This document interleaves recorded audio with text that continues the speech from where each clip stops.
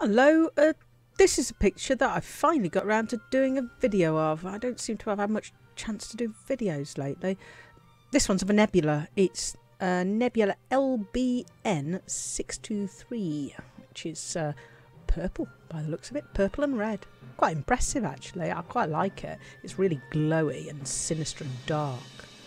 Anyway, so yes, it's um, nebula that was uh, discovered by a member of the First Great Expedition. And the First Great Expedition was a, a player organisation, well, still is a player organisation. And basically, uh, they started out in Gamma and Beta when the game first was coming out in 2014 and uh, they decided that right we're explorers we're going to find everything. And they, they, they made a start. And turns out that, that this has been quite a popular thing what with the distant worlds guys and everything since. And one of them is uh, Zulu Romeo Commander Zulu Romeo. He was uh, the the first person to find the centre of the galaxy. And he did it in his Cobra with uh, the jump range that was available in the stock Cobra and with no route plotting obviously available at that stage Andy's still exploring. He always seems to find the space gherkins first, which is which is good. They're all still at it.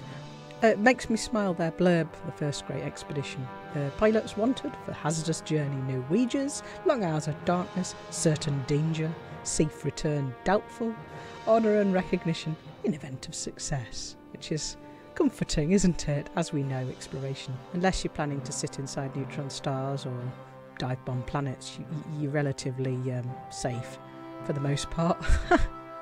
Out there in the in the Great Black, I think. This this nebula is uh, an emission nebula apparently, and it's the Gamma Cassiopeia nebula because Gamma Cassiopeia is bright when you're there. Gamma Cassiopeia is the uh, the star right in the middle of the W if you're looking at it that way round, and if you st- stood facing the other way, I guess it's um, the lady in the chair's bum, which. Uh, there you go.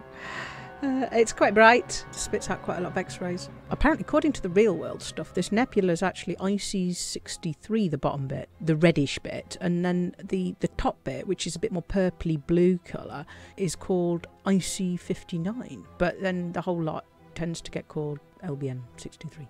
So, uh, it was posted in the Galnet Digest Discord actually uh, as a suggestion for me to draw, and I uh, like most of my pictures, uh, put it under a rock for a few months, and then pulled it out when I've got something else I should be doing, which it, it normally works fine. I, I, really like doing this one. I, have got a, a, soft spot for a nebula.